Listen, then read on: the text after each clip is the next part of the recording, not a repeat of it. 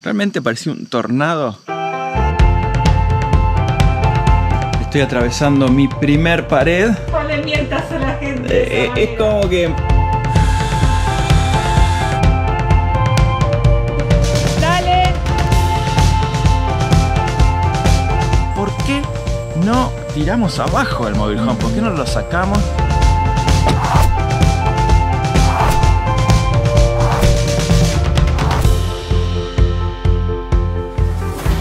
Acá vemos a Simón colocando los primeros paneles de cielo raso. Logré ponerle un tapón al caño. Vamos a sacar ese lavavajilla que está ahí. Ayer pudimos entrar con Mati este secarropas. Conseguimos secarropas y lavarropas por 300 dólares. Están en súper buen estado, son los modelitos básicos.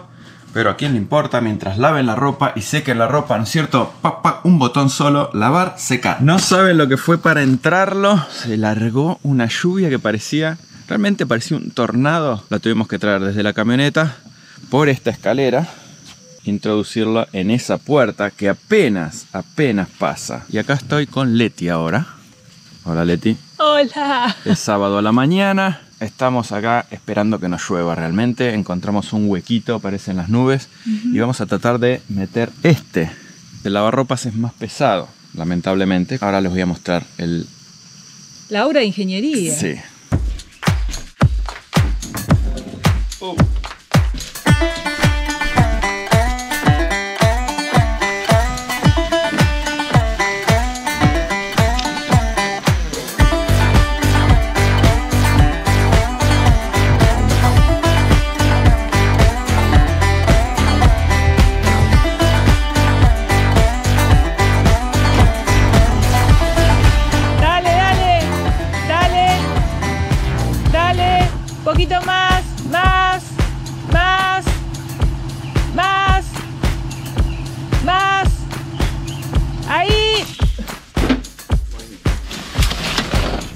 ¿Saben por qué pude hacer esto? Porque estoy haciendo ejercicio. Tenemos lavarropa. Por fin, después de tantas semanas lavando a mano. En el río. Obviamente es una conexión provisoria porque estamos en zona de construcción y esto es así, no se puede hacer mucho. No logramos conectar el secarropa y eso nos complica bastante porque hay mucha humedad en esta área y yo no tengo dónde colgar la ropa. Es increíble que después de tres años viajando no tengo una soguita ¿no? y unos broches. Y el lavadero más cercano mm, nos queda como a 30 minutos. Es una pérdida de tiempo, de dinero total. Así que estamos súper, súper contentos.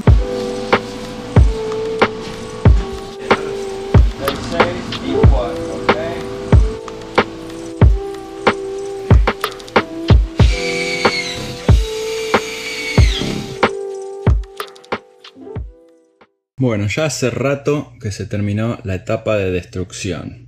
Ahora estamos en la etapa de construcción, ¿no es cierto, Leti? ¡Mentira! No le mientas a la gente. de esa Eh, es como que empezamos a construir algunas partes y seguimos destruyendo otras partes. Vamos a ponerlo de esa manera. Ahora es el turno de empezar a construir una pared. Vamos a empezar a cortar estas tablas. Vamos a construirla en este lugar, donde estaba el viejo y querido centro de entretenimiento. Bueno, ahí está. Va a medir esos 10 pies de largo de lado a lado. Bueno, hay que imaginársela. Hay que imaginársela.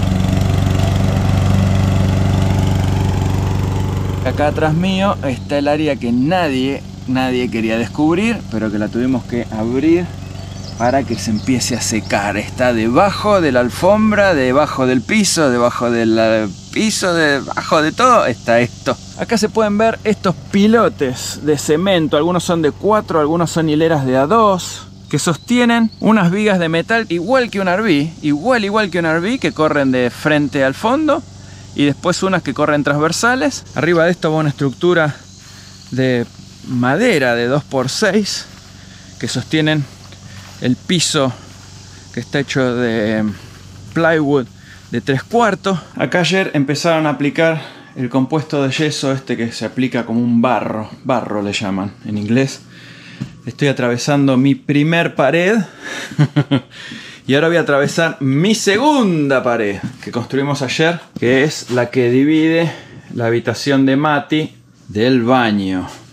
Atención con esta ingeniosidad ingenieril. Voy a usar este caño que era la salida de gases del calentador como salida de aire del extractor de aire del baño. Este tiene además una luz que se va a accionar la luz y el extractor de aire al mismo tiempo. Se pueden separar, pero por ahora prefiero no hacerlo de esa manera porque 90% del tiempo uno que entra al baño enciende la luz y el extractor de aire al mismo tiempo.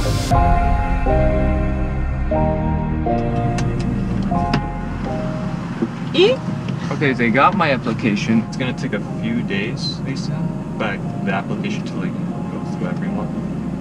Y después le van a llamar a papi. Para confirmar que está de acuerdo de que vos trabajes. Yes. ¿Pero te tomaron básicamente? O sea... Yeah.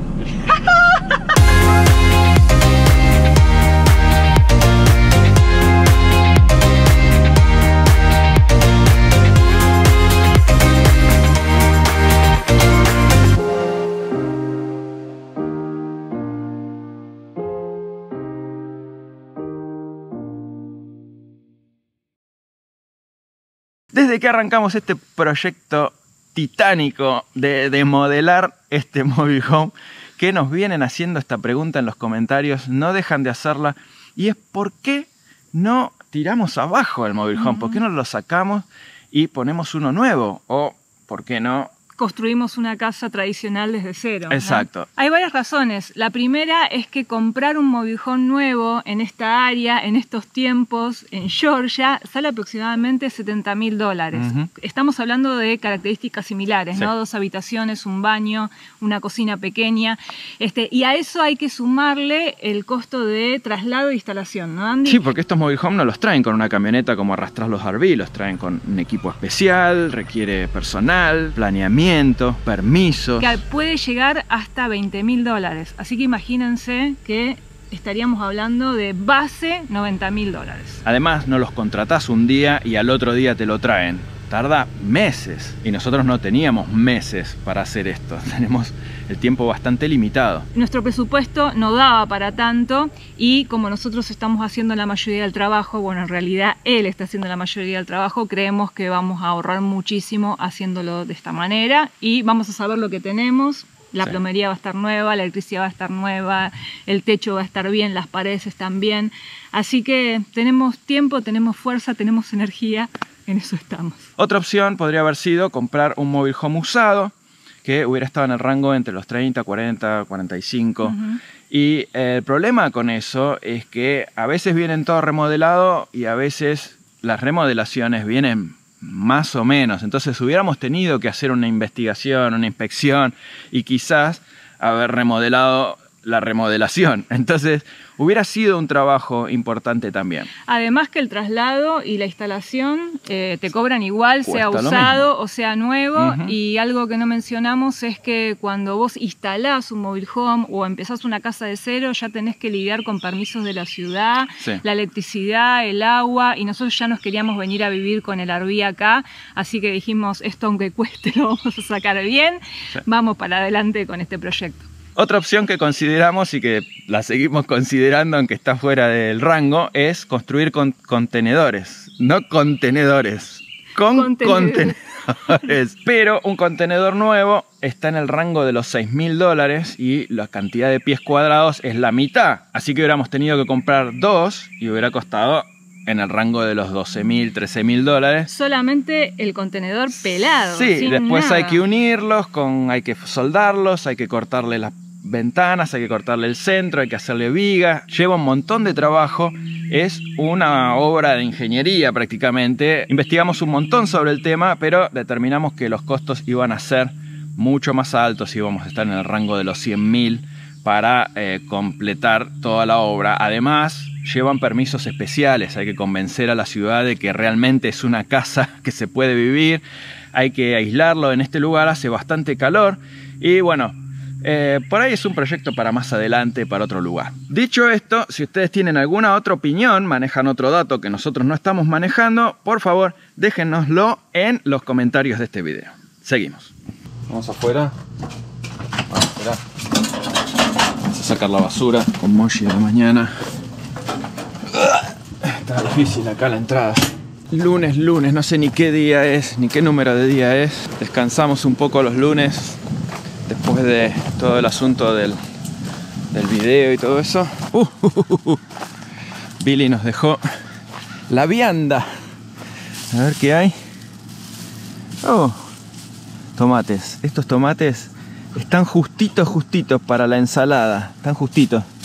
Pero nos deja chiles. Mirá los chiles que nos deja. A ver nuestros amigos mexicanos de qué se trata este chile.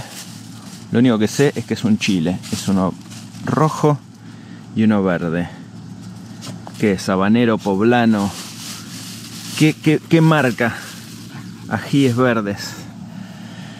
Este Billy piensa que nosotros porque somos hispanos nos gusta el picante. Y tiene razón, tiene razón, nos gusta el picante. Pero no tanto, el otro día nos pasó unos chiles que sé, parecían explosivos. Nunca, nunca probé chiles tan picosos, enchilados que damos. Tuvimos que tomar medio litro de leche sour cream. Tenemos esa reposera ahí, silla de, playa, de metal, toda oxidada que la vamos a sacar.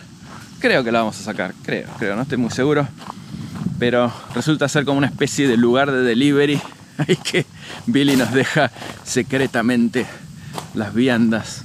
Moshi, otra vez popó. No tengo bolsita. Moshi tiene su baño acá.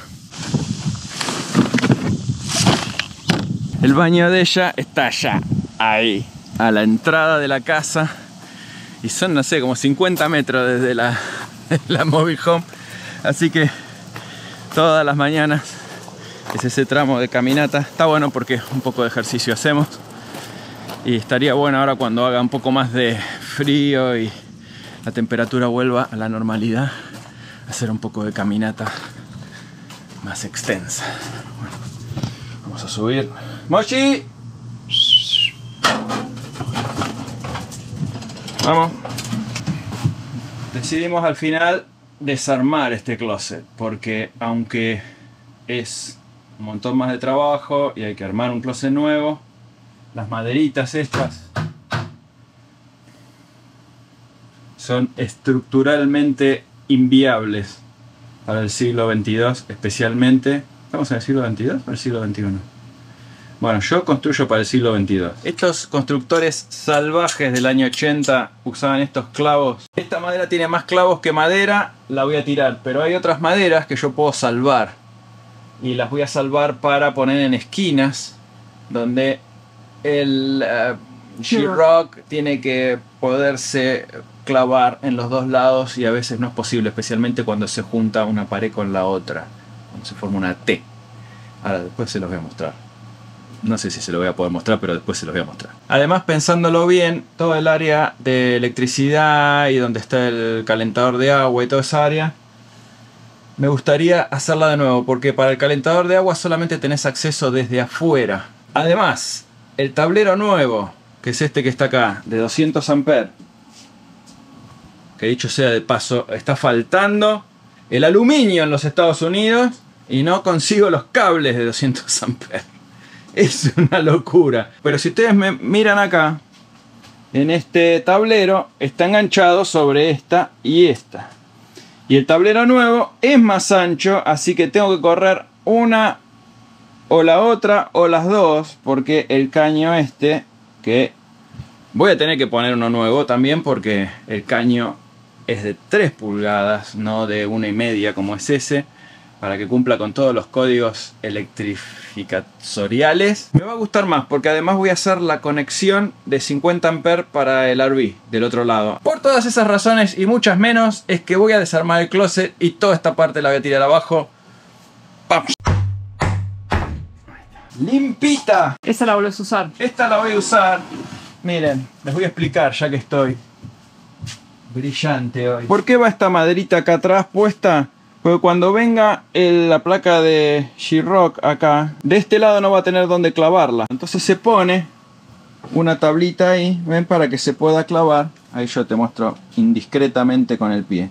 Para que se pueda clavar ahí. Bueno, ya tenemos, miren, armado casi el cuarto de Sofía de este lado. Una pared del baño. Y en este espacio que está medio muerto ahí, voy a hacer unos estantes. Porque ese lugar da directamente a la lavandería. Lo voy a usar para poner detergente, suavizante, las toallas, cosas que tengan que ver con la lavandería y el baño, porque el baño está justito enfrente. De esta manera estamos redimiendo un espacio que estaba siendo desperdiciado y en este espacio tan pequeñito no se puede desperdiciar ni un milímetro.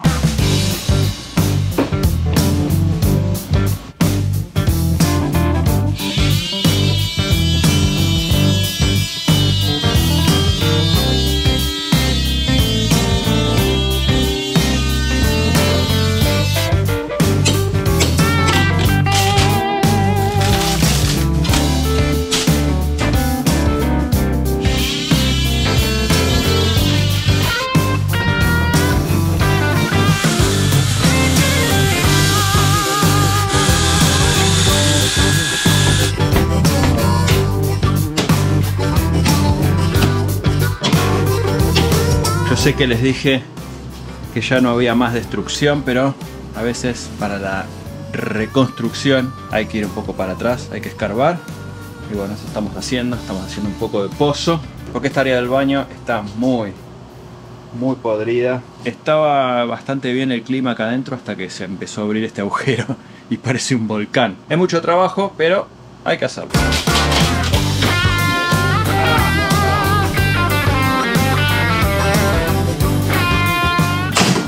¡Epa! Te llegó la hora al inodoro.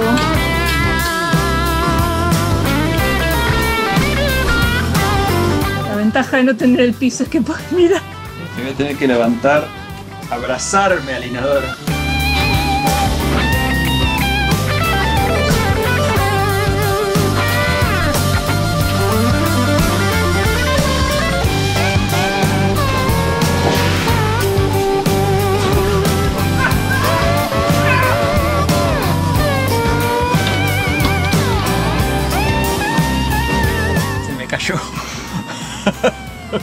Un accidente ecológico. De macetero. Final del día. El agujerazo está listo. La tapa está cortada a medida. Ahora está puesta así nomás. Porque no vamos a poner la tapa hasta que no se arregle la plomería. Voy a apagar las luces. Me voy a dormir. Chao. No, estoy acá. Agarro el agua. Me voy a dormir.